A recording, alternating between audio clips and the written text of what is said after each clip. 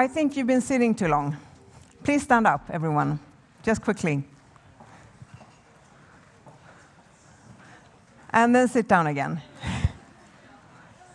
So I'm Mia Brundin. Uh, I come from a company called Synartro, and today we will talk about a disease called osteoarthritis and the solution for many of the patients affected by that disease, and why this exercise, besides keeping you awake. This is a very common exercise you have to do when you have osteoarthritis. Stand up, sit down, stand up, sit down. You can do it again later. So who are Synartro? We're a company developing local injections, um, and the aim of the local injections is to provide a longer efficacy for the active drug connected to our drug delivery technology. It's also aim of giving, uh, taking the drugs that have systemic side effects, and by injecting them locally, we can avoid many of the side effects.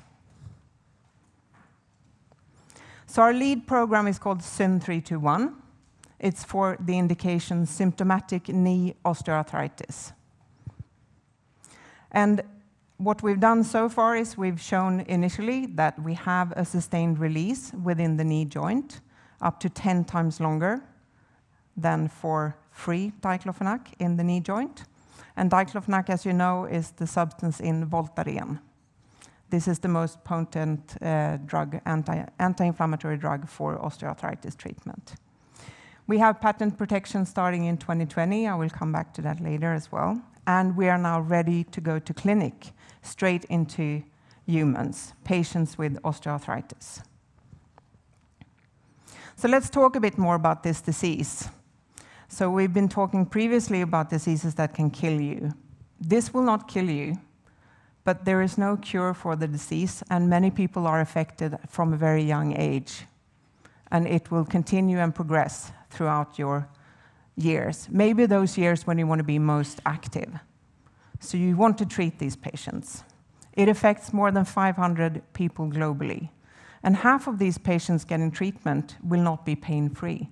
So they will have uh, limitations to how they can move, what kind of activities they can do, how they sleep, because the pain is usually quite harsh in the nights, and this is something we want to change. The market is huge. It's projected to be uh, in 2030, 15.8 billion US dollars. And why is this? Well, obviously, the aging population, but also increasing number of sports injuries, etc. So let's have a look at the uh, drug delivery platform and our molecule. This is a local uh, injection. Uh, it's diclofenac, which is covalently bonded to a hyaluronate molecule by a unique linker. So you can see the blue part is the hyaluronan molecule. This is a big molecule, which is good because that makes it stay inside the joint. Uh, the linker itself uh, doesn't really have any effect. It's just uh, bonding the two substances together. And then diclofenac, which is a small molecule.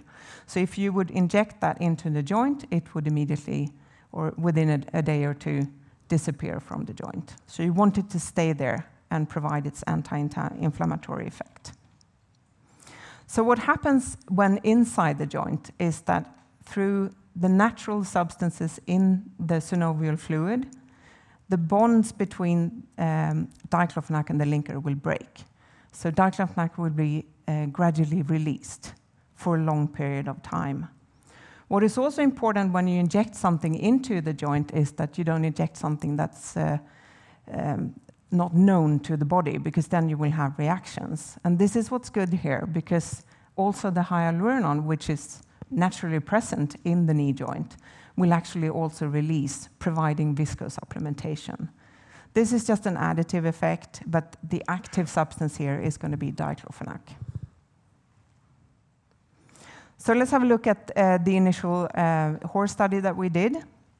We compared uh, SYN-321, where everything is connected, to just injecting diclofenac and hyaluronan. So what happened?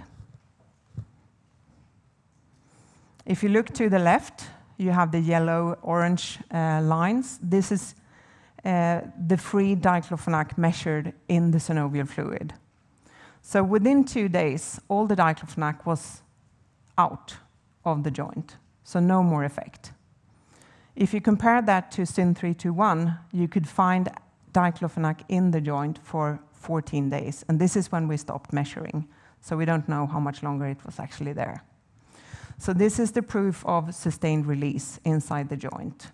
And you may think, "Okay, but two weeks, that's not so long." But if you compare this to, for example, corticosteroid injections, they are small molecules. You inject them, and you would at least expect, like, six to eight weeks of duration of the pain relief from them. So the question is there, how long duration can you actually expect? Well, our expectations are that at least 3 months, but maybe up to 6 months of pain relief based on SYN-321. We have also completed the full preclinical and uh, toxicology program for uh, starting our phase I/IIa, which is planned to start next year uh, in Q2. So why is there a need? You may think, "Okay, there are so many different products here, and you can't cure it anyway, so why is there a need?" Well, as I mentioned, 50% of all patients getting treatments don't get enough pain relief. They still have issues. And if we have a look at the products that are on the market today or the categories of product, they are all connected to different uh, um, limitations. First of all, the opioids, maybe not so common here in Sweden to use, but in the U.S., for example, which is gonna be the biggest target market for us, for SYN-321, is widely used. And of course, you get addicted to opioids. You want to avoid those. If we have a look at the corticosteroids that are injected, could give some uh, pain relief for up to six to eight weeks. But on the other hand, in osteoarthritis, the cartilage in the knee joint is broken down, and the effect of repeated use of corticosteroids are known to also break down the cartilage, so it's the opposite effect. This effect we don't see at all in the preclinical studies with SYN-321. And of course, oral treatments with anti-inflammatory drugs of different kinds, widely used. Even if you get the injection treatments, you can get them on a regular basis. But most people cannot tolerate these products. You get the side effects from the systemic treatment, from the GI tract or from cardiovascular, kidney, etc. And many people have other diseases, so they can't use these products. So finally, you have the pure hyaluronic acid injections. Um, a little bit question how long duration you get from it. You get a sort of lubrication of the joint, which is good, um, but um, that is not enough usually. You need the anti-inflammatory effect as well. So there is clearly a void which needs to be filled. The market potential is huge.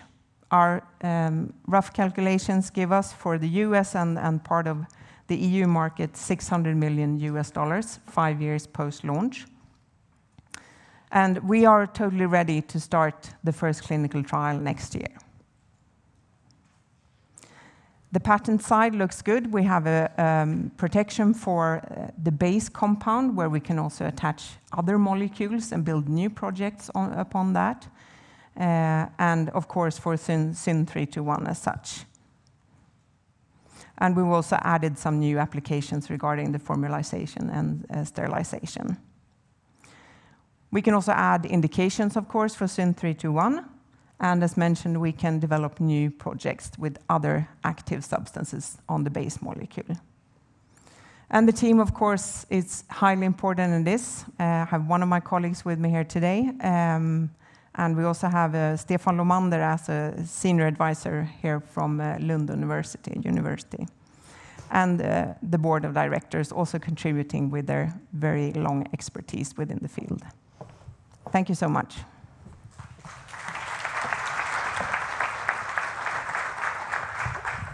Thank you so much, Mia. Got a couple of questions for you here. Um, yeah, someone's asked who your main competitors are, but you did, you did go through that, but could you just maybe sum that up and explain how you will position yourself within that landscape? Yeah, of course. Uh, I would say that our direct competitors would be the other injectable products like pure hyaluronate uh, injectables, but also corticosteroids. That would be where we would have the sort of easiest catch. But also, I would say from the oral treatments. So could this be considered a reformulation, what you're doing? I wouldn't say so because it's actually going to be as a new chemical entity uh, when we register it because the different substances are bonded to each other. So it's not only mixed. We also have a question about the financial status of the company, how well financed you are. Well, as a private company doing clinical trials, I would say we always need more money. It's a very honest answer. Yes. Could a long-term effect mask other knee injuries if we return to the clinical side of things?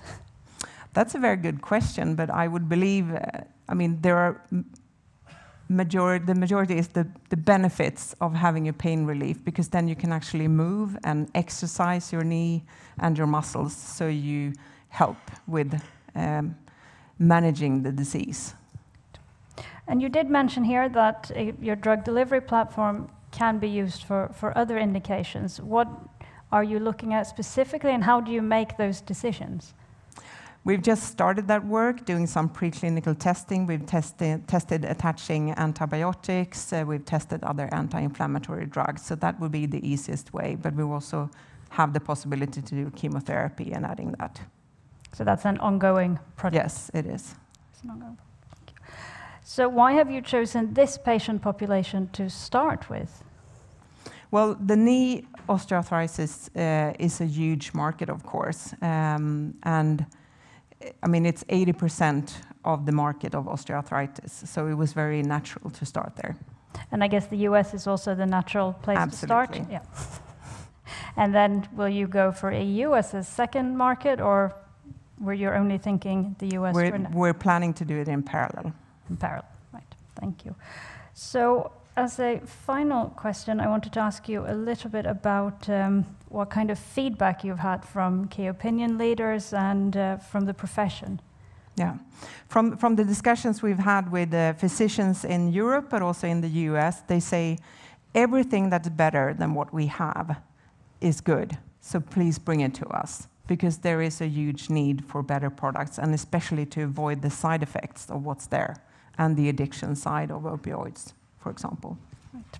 Thank you so much, Mia. Thank you.